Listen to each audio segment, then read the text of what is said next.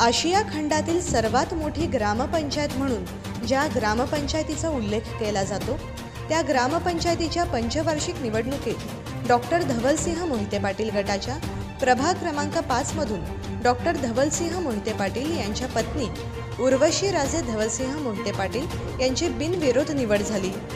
त्यांच्या विरोधात रेहाना हसन बागवान यांनी अर्ज दाखल केला होता. रेहाना बागवान यांनी आपला अर्ज माघारी घेतल्यामुळे उर्वशी राजे मोहिते पाटील या बिनविरोध ग्रामपंचायत सदस्य म्हणून निवडून आल्या आहेत. या निवडणुकीत सतरा जागांसाठी जवळपास ब्याऐंशी जणांनी आपले उमेदवारी अर्ज दाखल केले होते.